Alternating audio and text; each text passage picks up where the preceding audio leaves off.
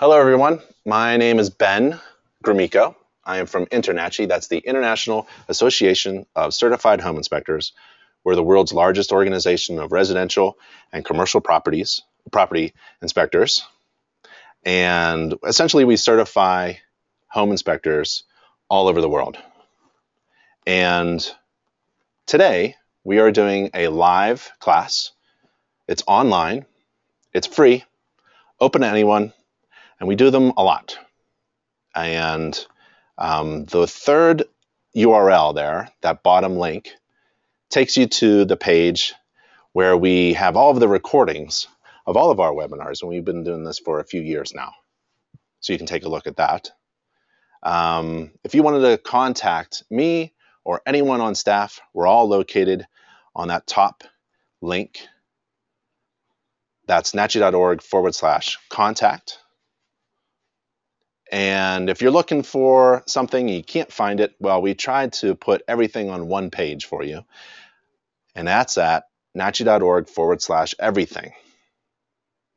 And on that page is actually a 15 step checklist on how to, uh, for running, starting and running, operating a successful home inspection company.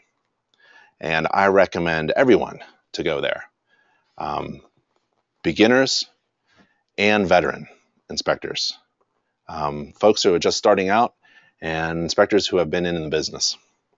Um, we have a lot of tips there to boost your business. So today we're going to do a home inspection. Um, I did this home inspection on this home a few years ago. We're going to go over all the images and video and report uh, if we can get to it. And um, what I do is um, I inspect the roof first because that's my brand. And um, the brand is what distinguishes you from the rest of your competition. So it was just easy for me to start on the roof. You don't have to, there's no standard on what system you need to start with. But for me, I tend to get to the property early um, particularly if it's vacant and I want to start. Um, I can do two a day, one at 8, one at 12, about three hours each, a little time in between for driving. I'm, be, I'm home before 5 to see the kids and wife. Um, but you can do two a day that way, using a mobile device to inspect. So I get my ladder off my truck, I put it up to the roof, get on the roof, with my mobile device. I'm taking pictures with my camera. I'm taking videos with my other camera, and I'm using my mobile device to write my inspection report as I go. And that's how I can do two inspections a day. Now, about the roof, you, you are not required to walk upon any roof surface according to the standards of practice for home inspections. You are required to inspect the roof, but you can do it from the ground you can use binoculars. Um, some inspectors are having fun with drones. Um, uh, InterNACHI's e-commerce partner inspector outlet has a really great device. It's called a spectoscope. It's a extendable pole with a camera on the top of it. It extends about 30 feet and has a wireless connection to your mobile device. And it takes images, and video, and you can inspect the ground or the chimney. Uh, you can inspect the roof or the chimney um, from the ground safely. So don't go up any roof unless you're trained. So I was a home builder for a while, and so I get up on the roof. So there, there is my one minute disclaimer and warning. Don't get up on any roof. But if you do, what I do is uh, I take pictures of everything. So on the roof, I'll probably take about 100 pictures and video. And I take a picture of every roof surface, every plane, every field, every component. And I speak about the roof covering material. I don't talk about the roof system. I don't say things like the roof is in good shape. Um, I talk about the roof covering material.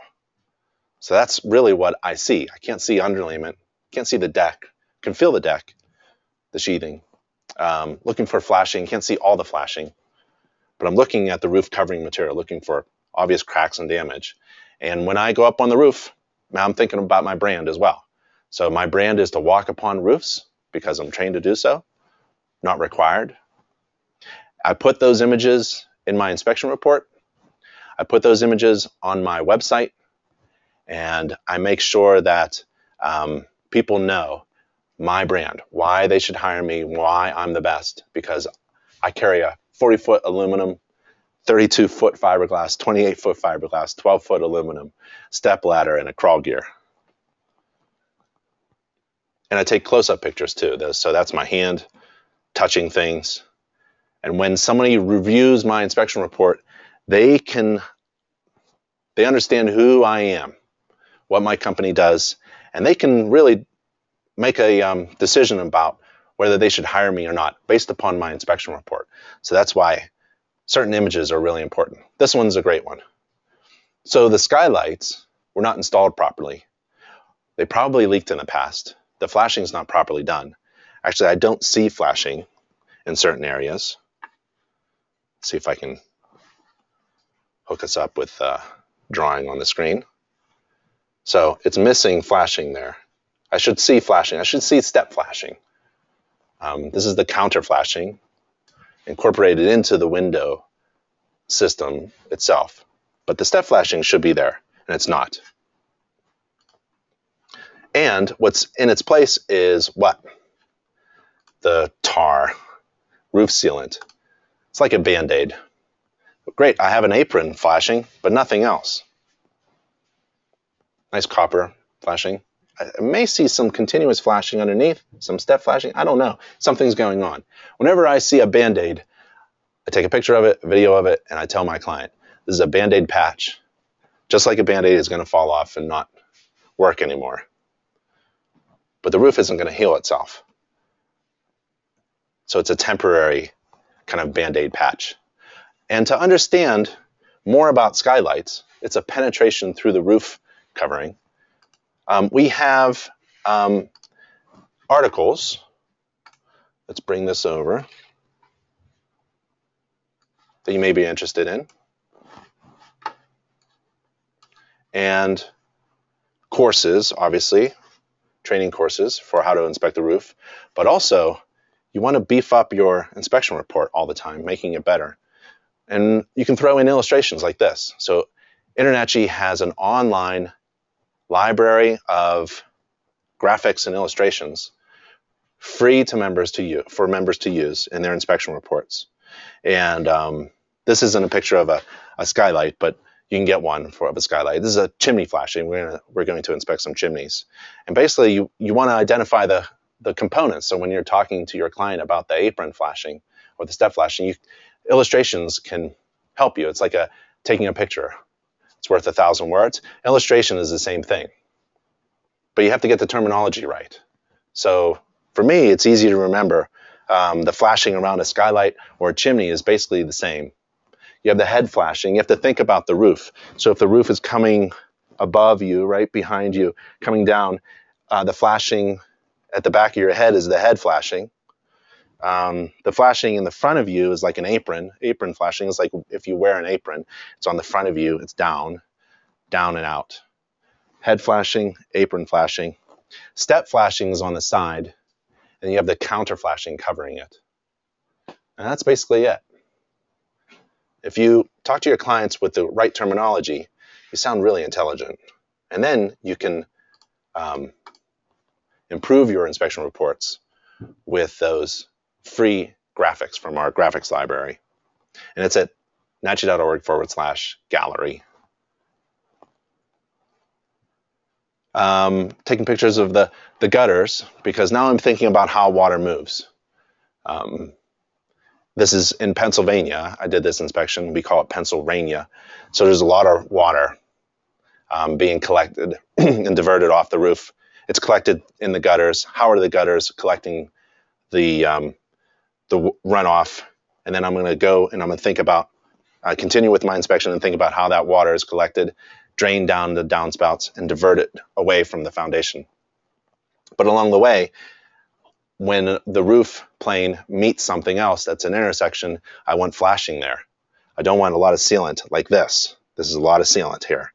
That's a Band-Aid patch, and that's no good. Not sure what's going on. I often write in my inspection report to my client to ask the seller about prior leaks, because we all know this is what happens when there is a prior leak. Somebody goes up there and does this patchwork. I see step flashing, but it might not be installed properly. I see step flashing there with a little bit of a counter flash coming out, extended out. So I kind of lift the siding because I want to see what's going on. And I'm not afraid of adding those photos to my inspection report. I actually give all of my photos, images, and video to my clients. So I'm taking pictures. Uh, let's see. So you can have uh, another image in your report about kickouts. Kickouts are really important. Kickouts literally kick out the water away from a wall intersection, typically where the gutter end meets the wall. More pictures, more pictures. I don't see anything wrong with the roof. It's aged. I estimate the age. It Has ventilation. This is a um, sewer stack pipe with a lot of flashing problems, uh, just coated with tar. The chimney has had problems in the past. Uh, I think uh, the counter flashing wasn't installed on this chimney. Somebody got a piece of aluminum siding and glued it to the chimney. So this is unreliable, non-standard, will ultimately fail. Uh, the roof areas are ventilated. The attic spaces, unconditioned attic spaces on the roof are ventilated. There we have some loose siding problems.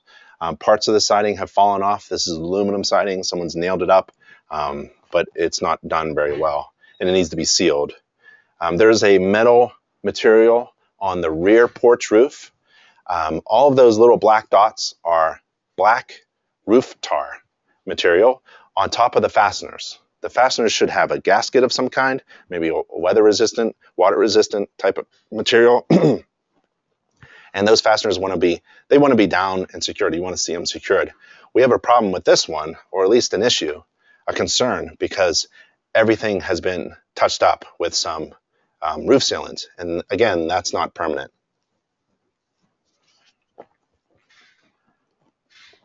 so when i'm down on the ground i think i'll get a better picture of that condition um, there's a cable coming into the house with an electric line a loose electric line to a spotlight in the back, and that is a hazard.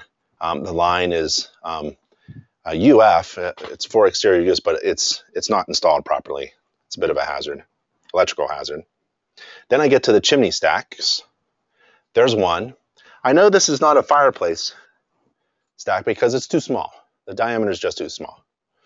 Um, this is a heating system chimney stack, masonry chimney stack.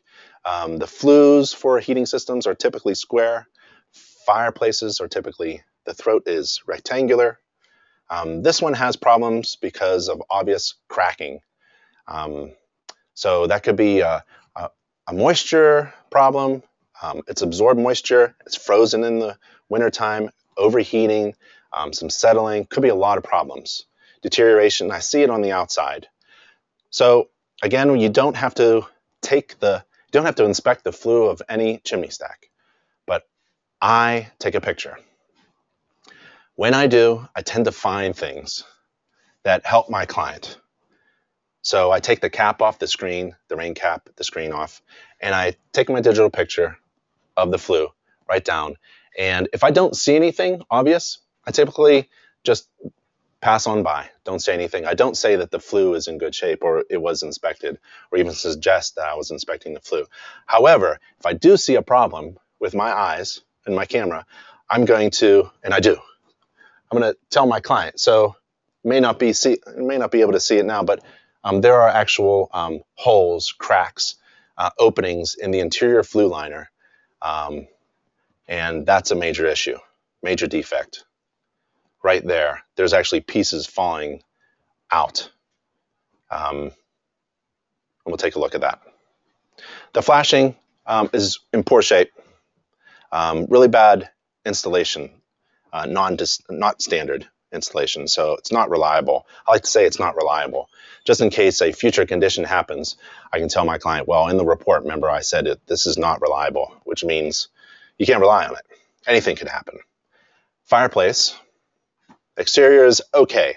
The crown or the wash, whatever you want to call it, the top part that diverts water off the top of the chimney stack um, is cracked, in poor shape, worn out.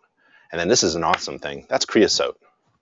Shiny black stuff on a fireplace flue component is creosote, and that's a fire hazard. I'm not sure what they're burning. Green wood, um, tires. It's pretty incredible that this hasn't caught on fire. So it's um, it's imminent. I'll use that word as well. It's going to happen. If you start a fire in this fireplace, something really bad's gonna it's gonna turn into a torch. And I've seen that. I've tried to put those types of fires out. Um, you can even see this just clogged with stuff. This is an easy defect that you can find, any home inspector can find from the ground with binoculars or a spectroscope. Um, but I just thought you would enjoy seeing the is incredible amount of shiny black creosote. That's a great picture. Okay, so to understand more about uh, fireplaces or creosote issues, we have a lot of inspection articles in our library, a huge online free library to inspectors, thousands of articles. And um, you, for example, this one, Fireplace Fuel, written by my bro. Or you can take a course, a free online course about how to inspect fireplaces, stoves, and chimneys. And click the green button. And if you're a member, you go right in. And I like this course because we have a bunch of images of defects and problems within the course um, with descriptions. And you can zoom in a little bit. So there's a missing kickout flashing we mentioned earlier. So if you feel weak in one area, for example, inspecting fireplaces or inspecting flashing problems, we've got you covered. So you find out your weakness. If you feel mm, not that confident in performing a certain type of inspection of a, of a system, InterNACHI has the inspection gallery illustrations, inspection library of articles, and an entire curriculum to support you. Um, this fireplace chimney stack, the flashing, the counter flashing is missing. You can see the step flashing, some tar, something may have been torn off. I just don't understand how this could get by with a, um, a relatively new roof. This is not an original roof. So I think the roofer and the homeowner just didn't communicate very well. No counter flashing. And so you can pull the step flashing away from the chimney stack and allow water to go right in. So when, when I'm thinking about inspecting um, the rest of the house, I'm going to be in the attic in that area and I'm going to look for water damage. Um, right there, I'm actually going to put my foot right on top of the step flashing and see if it feels weak, the sheathing or the deck material. Um, and I know that a house is a system of interdependent parts. You affect one part and affects many others. This component is missing. The counter flashing component is missing on the step flashing system, the flashing system around the chimney. And it's going to affect many other components and systems of the house. So that's a concept you should have in mind. That while you're inspecting, you're not just inspecting one thing and it's exclusive or regardless of anything else. It's really, it's really complicated. You know, things affect all other things. Yeah. Uh, chimney cleanout, it's in good shape. A lot of soot streaking down the chimney stack. Um, this is the roof of the um, detached garage. And I think they built it after the house was built and they tucked it under the overhead electrical line. That's the main electrical line. And it is touching not only the uh, trees, right, but it's in contact with the roof. Man, is that just a fire hazard right there? So I know that this is not right um, because of many things. Our training helps you that, but also we have some illustrations. So it needs needs to be there's a, a clearance, a minimum clearance of an electric line um, over uh, a structure or a sidewalk or a road or a swimming pool. And the flatter the roof, the higher the clearance, right? It makes sense. Someone's going to stand on a flat roof. So that's a, a major defect, safety hazard. Could cause a fire, could really hurt someone. If you're weak on roof systems, inspecting roof systems, we have a huge list of free online courses to members. Take a look at that. Now I'm on the ground and I'm thinking about how water moves, right? The roof diverts the water into the gutters, gutters divert the water into the downspouts, downspouts divert the water hopefully away from the foundation. But if there's a hard surface, I'm I'm checking that one out. There's a downspout diverting water away from the foundation or the porch, and the hard surfaces must be sloped away slightly. And I'm taking a look at stoops, steps, driveways, walkways, and while I'm inspecting the exterior like that, I'm inspecting all systems. So I come across this. So for you folks in warm climates, you have no idea what this is. Um, this is really a northeastern anomaly. this is a fill pipe and a vent pipe. Um, there's the vent. So a fill pipe is for an oil um, tank that's in the house. Um, they could be buried in the ground. They don't do that anymore. Um, it's been a while since they've done that. Um, they've pulled many old ones out. Um, I've found many buried oil tanks in the ground. Um, it was a really difficult sale for the real estate agent. this one is a problem because the fill pipe is higher than the vent pipe. Vent pipe is actually like a whistle. You dump oil into the fill pipe that goes into the tank. The tank displaces air, fills up with oil, displaces air, pushes the air out, and it comes out of the vent. There's the window there. Um, no um, interior electric line used for the outside receptacle, uh, no GFCI. So we have the discharge of the sump pump at the bottom of the picture. So now I know that there's a sump pump in the basement and it's wet there. So I know that we have um, potential water intrusion issues. And then some shingle tabs are kind of loose, no big deal. Taking a look at anything near an opening like a window. So when this snows or rains, there's a lot of splash because there's a hard surface right next to a window. There's no clearance. So I want to take a look at that. Um, no frost-free hose bibs on the outside, missing handrail. Technically, there's a handrail on the right, right? That wooden structure there to grab onto. But my grandmother would have a problem with the first two steps because there's nothing to hold onto. So Take a look at the, the bottom corners and top corners of every window and door. So this is the rear slider door. I take when I come up to a door on the exterior, I look top left, top right, bottom left, bottom right.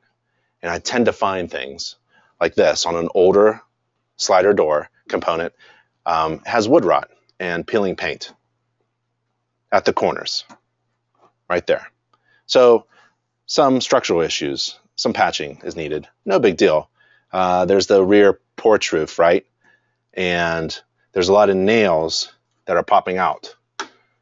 So we've got this nail here, it's popping up. This nail here is popping up. This nail net head here is popping up. Maybe that's what they, maybe that was the problem that they were having, right? It just wasn't installed right. There's a nail head there. And the roof is sagging. So this is the, um, thin, maybe quarter inch plywood sheathing um, secured to the bottom of the porch roof. And you can see it's kind of like sagging like that. So this is sagging, actually. So something's going on there. But as you can see, there's nothing uh, that I skip. Um, and I try to keep it all in your head, right? Veterans, we can keep it all in our heads. So while we're moving down and around, we know that things are connected to one another. Um, we know we have a problem with the roof on the top and we have structural uh, sheathing sagging at the bottom. So those two are connected. And then the structural components. I want to take a look at how that rear porch roof is held up. So I take a look at the corners, right? The load bearing components. I'm looking for anything and I see water. So there's water streaming down here, or at least water marks. Um, the house is being sold. They typically paint these things, um, leaving it, um, it may be old or recent. I'm not sure. Um, you can use your infrared camera to confirm that you're seeing something wet. Uh, I would just use a, a moisture meter, um, or um, everyone has a really great tool to use. All home inspectors have this tool. Uh, you never leave home without it. It's one of the most sensitive tools to detect moisture. Excuse me. It's your hand. So feel free to use your hands during the inspection to see if something's wet. Um, it can also uh, help you find um, air leakage spots. Um, so I'm really just taking a lot of pictures. These are inspection restrictions if I ever need to explain why I didn't see everything. And I'm um, not sure what that is. Later on, um, I'll connect it to the stove in the basement. So it's actually uh, a little propane stove kind of system going on there. Not installed very well, kind of hazardous. Uh, if somebody kicks the stool, you'll then have a gas leak. A few other cosmetic issues, no big deal. Dryer hood is cracked. Exterior looks pretty good. Here's the air conditioner unit. There's the line going up. The refrigerant lines, suction line, liquid line, go up into the attic. They make it look like a downspout. Um, that's nice. But there's the air conditioner. So it was installed after the house was built. It's in the attic. Typically on an older existing home like this one, 45 years old, um, when you install an air conditioner after that, um, typically not all the rooms will be conditioned with the air conditioner. So I'll just put that in my report, but I'll confirm it. Um, and it was true in this house. So uh, basically, you had a bunch of supplies in the top sections of the house, and the cool air just dropped down. Shut off switch, it's a Kenmore, and I wanted to show you a cool thing. Somebody asked me, how do I um, age a unit? And I'm not sure if you know this one. There's a little trick. Go to www.buildingcenter.org. Buildingcenter.org.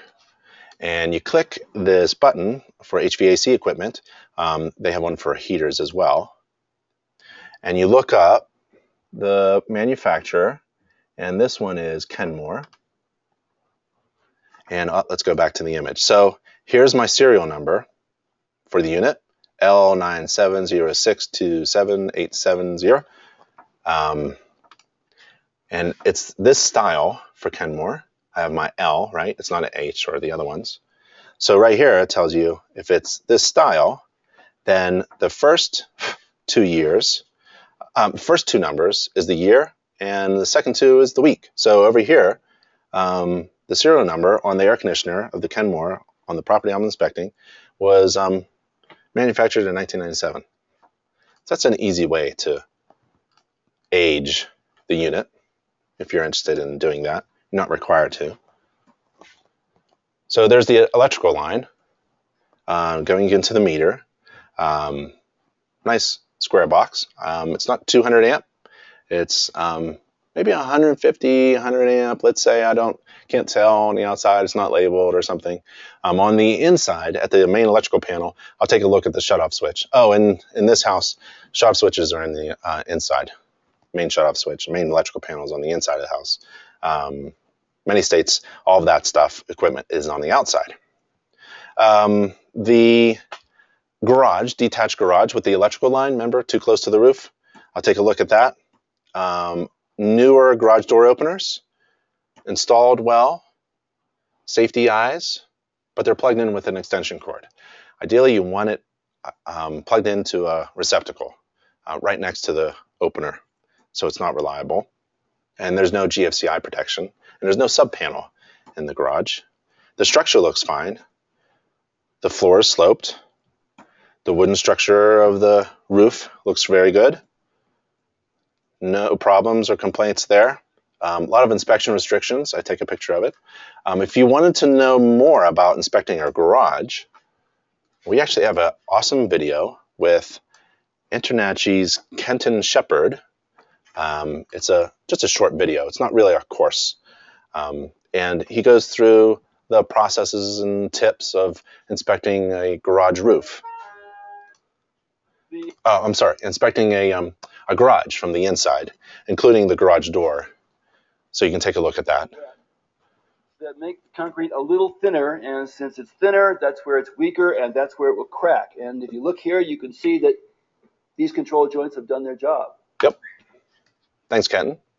Um, and if you wanted to um, learn more about inspecting the exterior, we have a ton of courses on our education page, nachi.org forward slash education.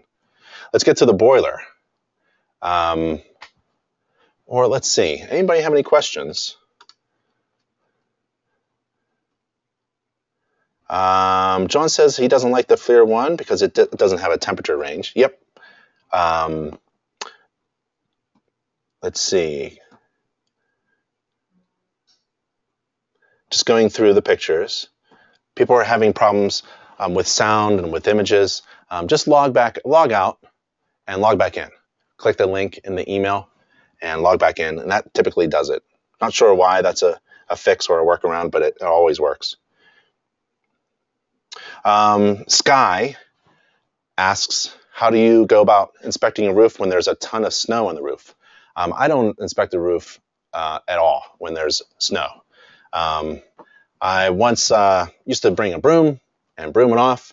I really can't see anything. And um, I, I want to give, I want to show my client I gave some effort, and I think you can do that. Um, maybe go up and brush it off with your hand. Um, look for records, permits, ask the seller for information. Um, I typically had to come back. And that was just part of the cost of doing a, a great home inspection. Sometimes during the winter, um, there are additional travel. There's additional travel time, and you got to come back when the roof is covered with snow, particularly a flat roof. Um, it's hard to see anything on a flat roof um, when it's covered with snow and ice. So uh, I just incorporated that into my like overhead.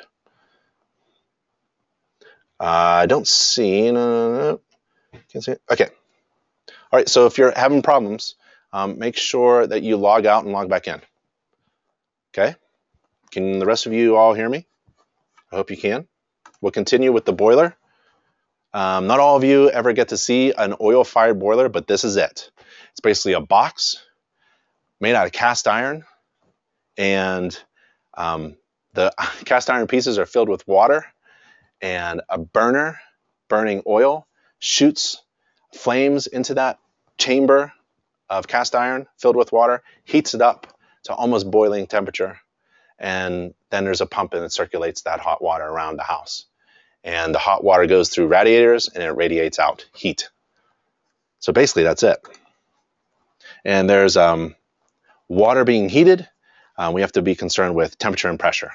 So there's a temperature pressure relief there. Um, there's a shut off switch for service.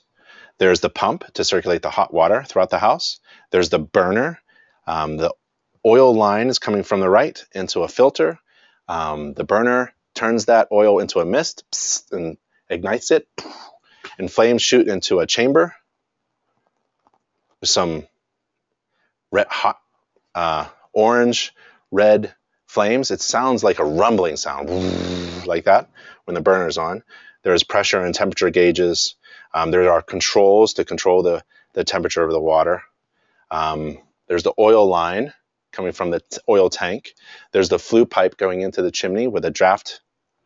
Um, there's a pressure tank, um, an expansion tank. When you heat up water, it tends to expand, and uh, this absorbs that pressure. And there's um, water coming in, potable water, coming into the boiler. We don't want that boiler water to get back into the system, into the house.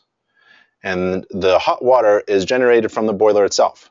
So cold water goes into a coil into the boiler and comes out of the boiler scalding hot. And there should be a, a valve in between the hot and cold to control, temper the hot water so that it's not scalding when it comes to the fixtures. And we have a lot of courses on how to inspect the heating and cooling system. Um, that's the oil storage tank with the oil and fill pipe, oil fill pipe and vent pipe that we saw on the outside. There's a gauge on top of the tank. There's a shutoff valve. Um, the belly of these oil tanks um, rust first because they're typically in a crawl space or uh, a, ba- a basement. It's an old system, old method of of heating your home, having storage tanks, or they're kind of phasing that out um, unless it's a high efficiency heating system. And so um, these tanks are a lot of fun to inspect. The belly of the tank is rusty. I get my screwdriver out, I tap it. The legs are simple pipes, um, cast iron pipes, iron pipes, and they tend to sit on something like concrete and it gets wet and rusty. And um, I've actually had tanks that are just floating, and you can just pu- push them over, and uh, it would be an oil spill in the basement but this one's okay. Uh, next to the oil tank is the water supply coming in. So there's the water supply, water meter, jumper cable, water shutoff valve. It's not leaking. And below the water meter is the sump pump. Remember that pump we saw, discharge pipe by the downspout we saw at the corner of the house? Well, here's the sump pump. It's dry. Two good things. And it's supported well. And it's relatively new. The flexible pipe is okay. I like to see solid pipe. The flexible pipe tends to wiggle a lot and um, come apart. And then there's um, a finished basement. Um, some of the windows were blocked with curtains and some walls were put up and some funky things were going on. I didn't understand it, so I poked my nose around and in, and I found that they were hanging ham. so you never know what you come across and they also had a lot of moonshine. Then I realized what I'm standing in. This is, you know, a really neat basement where they're making food, drying meat, and um, bottling uh, look like wine. So that was cool. Um, the basement pictures help me um, if I ever need help describing the inspection restrictions. So I don't move refrigerators. I don't look behind finished walls. There's a lot of storage around and I don't move anything. The standards of practice says that I don't move personal items in order to perform my inspection. I just don't I don't move them. So I don't move the bottle, uh, the five gallon glass bottle of wine, in order to look at the water problems. But we do have water problems. These are um, concrete masonry units. Um, they're like sponges, especially if there is no drainage on the outside or parging or waterproofing. They absorb moisture they wick it and they bring it out through. And sometimes you'll see efflorescence on the inside where there's those salt deposits, that white stuff. So there's a, a great need for a moisture meter right there to confirm what's going on. Um, but a picture tells a thousand words. And there's another sump pump. So we have two sump pump holes in this basement. And it looks like this one was, they're both retroactively installed after the house was built. You can tell by the concrete and a couple other things. That's a modern kind of container. Um, this one doesn't have a sump pump there, but maybe there was a need. So I'm going to tell my client something's going on with the basement. It's probably a lot of water, moisture intrusion problems. They have a sump pump that's active. They have another one ready to go. Um, and the ceiling of the basement is sagging. Something above us leaked in the past, but the structure looks pretty good. I don't see any anything wrong. And we have a lot of structural courses if you're interested. Electrical. Remember the meter on the outside, square meter, line, line overhead, conductors too close to the detached garage? Well, it comes in here, and here's the main panel. And I take a picture like this because I wanted to make sure the, of the position of the breakers or, or the, the look of the fuses. I want to make sure that um, everything's on or off labeled if something is off, is it tripped off, which could be a hazard. If you reset it, don't ever reset a breaker, whether it's been tripped or turned off. And um, is it been manually turned off?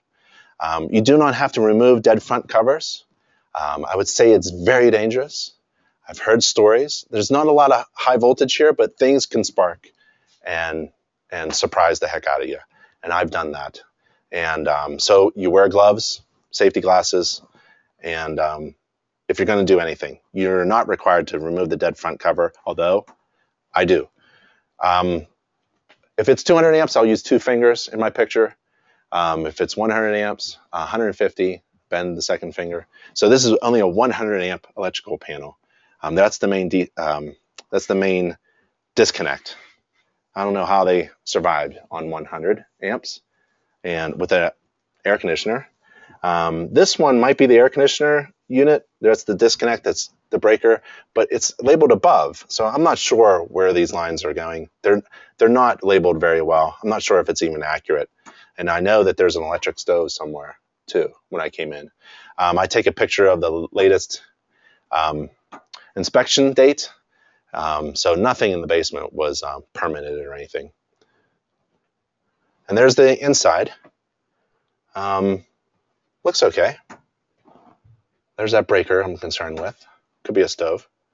Um, but here is a double tap.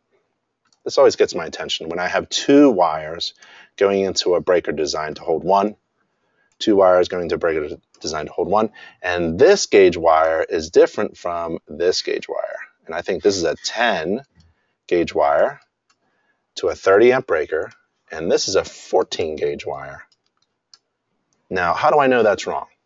Well, code tells you everything. We're not code inspectors, but you can refer to code, or you can refer to your InterNACHI course, which refers to code for you.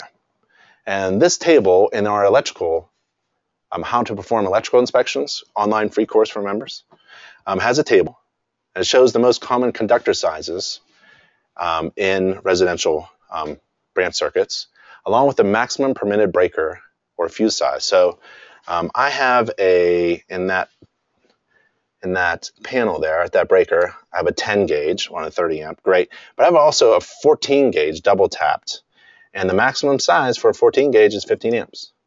So we have an electrical problem there that needs to be addressed by a master electrician. Um, I don't say, I try not to say contractor, a licensed electrician. All the other breakers are, I don't see anything wrong older wiring, and there's that double tap.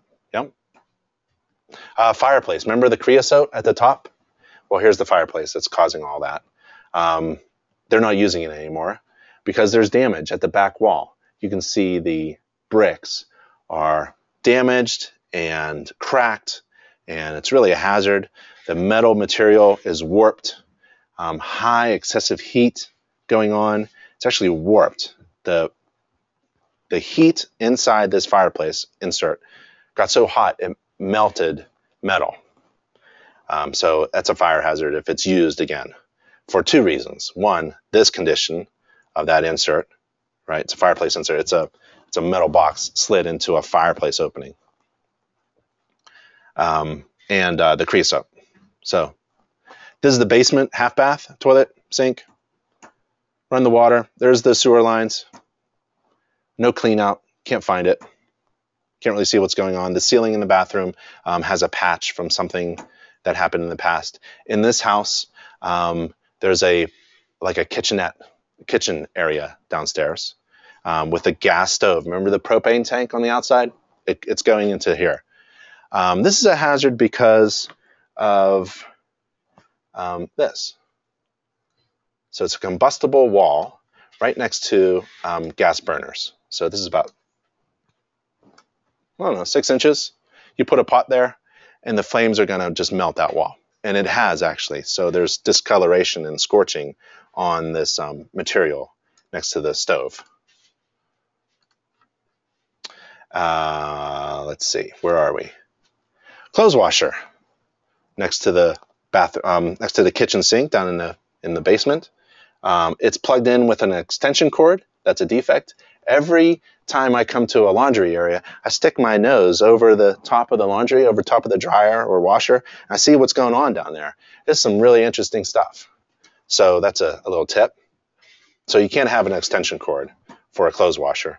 The hoses are great, stainless steel braided mesh, but they're connected to the to the um, to the supply line underneath the, the kitchen sink. Remember that kitchen sink right next to the clothes washer? It's not supported, so these lines are actually going to break off and the clothes washer just discharges into the kitchen sink. Um, and that could be a problem because that sink is not um, draining well. It's probably clogged, and it's a um, it's an S trap. You want a P trap, and a P trap looks like that. And we call it a P trap because it looks like a P. There's the the letter P right there. An S trap looks like an S. It loops around. Kind of looks like this. Sorry, I can't draw. There, right? Or it could be a Z. Um, so how did I find this problem? Well, there's the system, and then I want to find the components to the system. So I look around, I look in the back, there's a defect. Um, there's the defect. There's a, a, component that's in good shape, but that's the defect. So you follow the water supply, especially if, uh, if it's a system with water supplied to it or water draining from it, follow the flow of water or follow the flow of electricity where it's connected. There's the discharge, and there's the sink, and there's the bad trap, and there's the valves coming in. Can't get to the valves to work on them. There's the dryer. The dryer is another system. You look around it, behind it, and it's hardwired. So you can't unplug the dryer. Um, that's probably one of the breakers from the panel connected to it. It's not identified. And we have an old three-prong dryer receptacle there. Um, another component of a system would be the air conditioner. Remember, we saw the air conditioner on the outside. We used that link to get to the date. We could date the air conditioner. It's retroactively installed. Um, um, it was installed after the home was built. Sorry. Um, the disposable air filter is dirty and it's in a closet. To get to the air conditioner system that's in the attic, we know it's in the attic because we follow the refrigerant line from the condenser on the outside, compressor on the outside. Um, that door to the attic is not sealed, and it's not insulated. So it's a huge heat loss. It, this house bleeds energy which means my client is going to have really high heating and cooling and operating costs. Um, I know that because I'm a home energy score assessor, right? That's what I want you to be a home energy score assessor or a home energy inspector. This is the bathroom exhaust, exhausting into the attic, not installed very well, not sealed, not insulated, electrical hazards, and I know this is a problem because I was trained by InterNACHI and I read this inspection article about how to inspect the bathroom exhaust. And um, exhaust, bathroom exhausts really need to go outside, for one thing. Um, they can't exhaust into the attic space, and it should be sealed up. You shouldn't have any missing insulation around it, and it should be insulated and sealed with like a rigid foam box with all the seams taped and sealed around the edges. So it's energy efficient. Um, there's the air conditioning unit. Electrical disconnect, service switch, nice. It's suspended well, supported well. No problems with condensate. Has a nice catch pan underneath. The drainage system is okay. It's not supported very well, but it's okay. The ductwork isn't installed very well. It's loose there, I'm missing a part of it. It's not really sealed well. Um, let's see. And kind of picky on the ductwork. Um, this strap is really restricting the ducts, right? Because um, they're hanging here, but they're cutting in. So this, this strap actually cuts in about halfway. This one too cuts in about halfway. So you restrict the, it looks like it's nice and thick and round, but it's actually restricted. Um, it's kinked, it's bent. So it's not supported well at all. Um, and it's forcing the unit to work harder to condition the air. Um, this ductwork is, has been chewed up by something. That's how I phrase it. I don't want to say that I've inspected mice, that I can identify mice or infestation or squirrels or anything, but it's been chewed up. Um, it's been torn apart.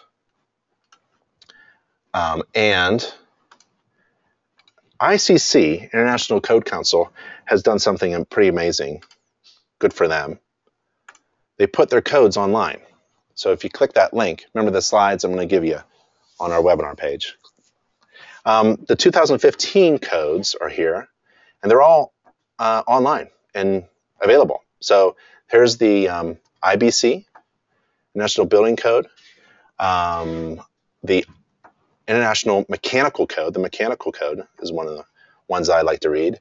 Uh, Energy Conservation Code is a good one, the ECC. And here's um, InterNACHI actually bases most, if not all, of its training on the IRC, International Residential Code.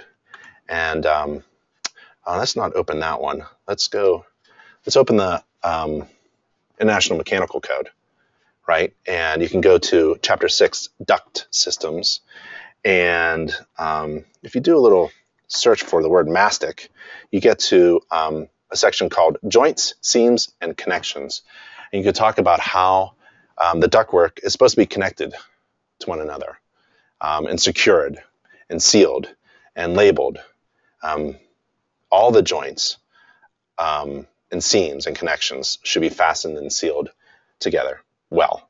Um, and you're not a code inspector, but when you take a look at ductwork that isn't um, installed properly, you can then use code as a foundation upon which to make your um, suggestions, recommendations, and to guide your inspection and to help write your report. So the structure is in pretty good shape. Actually, new sheathing um, was installed. So the old sheathing was replaced and new sheathing was installed. But that is a shot of the fiberglass insulation. The vapor retarder um, is installed on the wrong side um, for cold climates. Should be installed with the warm side. Um, and it's only about three inches thick and it's in really poor condition.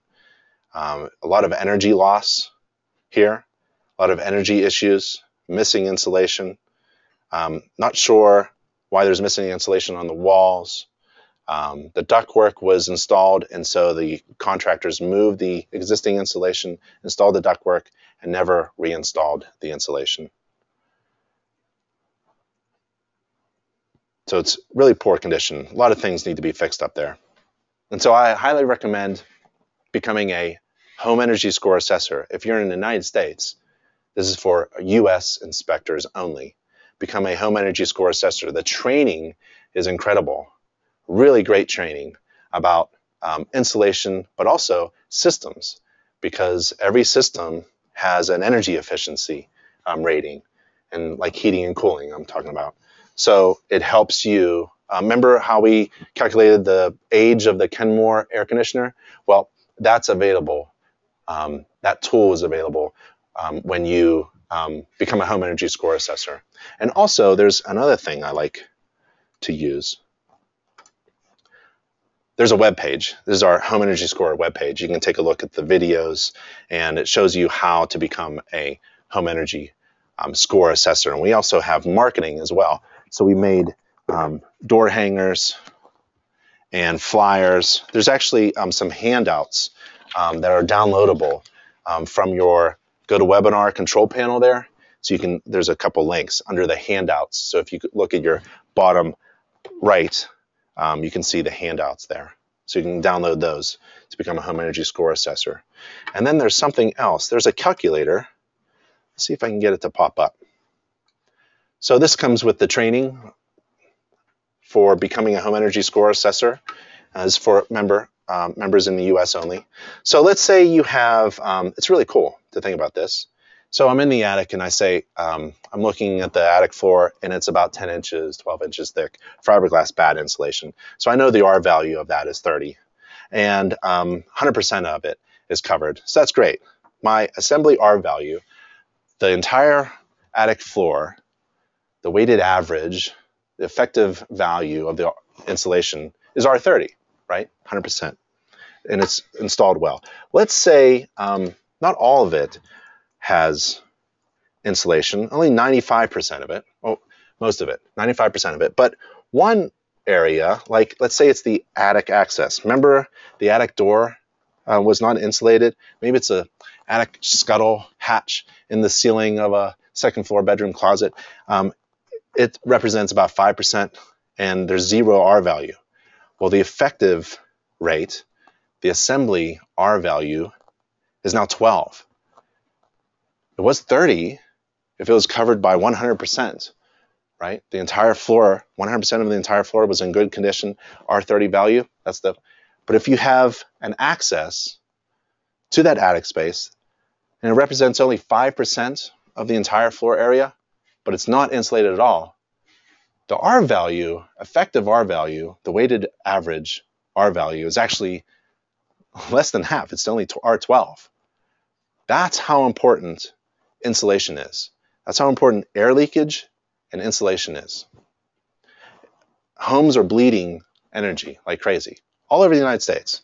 We build our, our housing stock is about 30, 40 years old, built in around 1980 or so, without any regard to energy efficiency. And they're losing energy, bleeding energy right out the top, typically, out of air leakage mainly. And so this is a great opportunity. We're, we're inspecting homes every day, and we can make recommendations, intelligent ones. Um, you shouldn't say this is R30 value when the attic access is not insulated.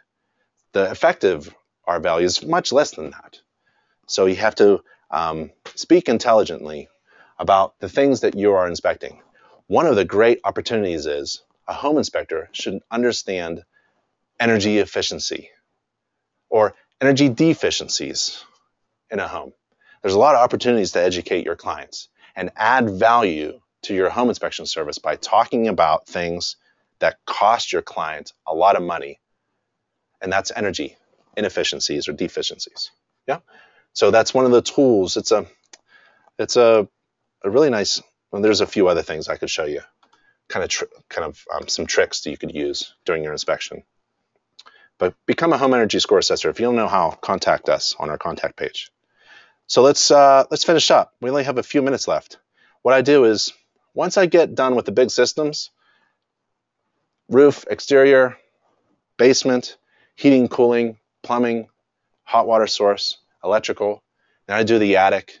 I come out of the attic and I'm basically reaching the, the kitchen as fast as I can. I do the interior and the bathrooms. They're pretty easy. I go down. If there's something in the interior that's specific, uh, another fireplace maybe, I'll inspect that. But I'm heading to the kitchen where I have set up my computer, my printer, and um, I'm ready to go. So I'm just going to blow through these. I'm looking for GFCIs, water leaks. I'm making sure the hot and cold turn on. Um, this is a scalding issue. If it's a hot and cold on an older home, you have hot and cold handles, but you should have one with anti-scald features. Um, a lot of opportunities to educate your client about things. Uh, carpeting should not be installed in a bathroom. If it is, um, lift it up and see what's underneath. It's not that sanitary. Those carpets can be kind of nasty. Um, where are we? So we're doing the interior, taking pictures of the interior, checking the receptacles, older home, two prong receptacles, not a big deal. The ceilings, the doors, the windows, I look for signs of water, especially on um, slab foundations. Receptacles are in good shape. Open and close the windows. There's the bay window. The bay window ceiling typically has watermarks um, when the roof has failed. So I take a look at that. Remember, top left, top right, bottom left, bottom right and I'm doing good. Uh, the skylights have watermarks on them. You can't see them in the picture, but the bottom corners have water streaks on the uh, the drywall. So that's not a good thing. That's what we saw on the roof, remember, with the tar patching. Uh, remember that slider door on the outside? Well, I want to take a look at watermarks on the inside. I want to see if the flooring is bad. I want to see if the, the structure of the door itself, the frame is in good shape or not. Not all rooms have conditioned air. This is the main house supply. So I'm not sure if this air conditioner was installed properly at all. And there's the kitchen, the main kitchen on the first floor, run water, GFCIs, dishwasher, stove, and the kitchen exhaust should go outside. And we have um, one more URL to go through, and that's the home energy score. I highly recommend, this is for US members only, I highly recommend you becoming a home energy score assessor so you can score every home But if you don't want to score every home, don't want to score a home, do the training. The training is amazing, and it's all online. Um, it's actually a 3D. You become um, an avatar. You move your avatar through a home in 3D um, simulation, and you perform an inspection. It's really awesome. Uh, the slides, I'm going to throw in all these links. Take a look at them. Uh, we reviewed them during the uh, webinar itself about where to find the inspection pictures, the articles, and um, if you need anything, this is our contact page, nachi.org forward slash contact, and a few other URLs. The one that I really like is nachi.org forward slash everything. If you're looking for something to really boost your business, go to that page. It's a 15 step by step checklist on running a successful home inspection company. Uh, my name is Ben Gromicko. I'm from InterNACHI. I'll see you next time. Thanks for coming, everybody. Bye.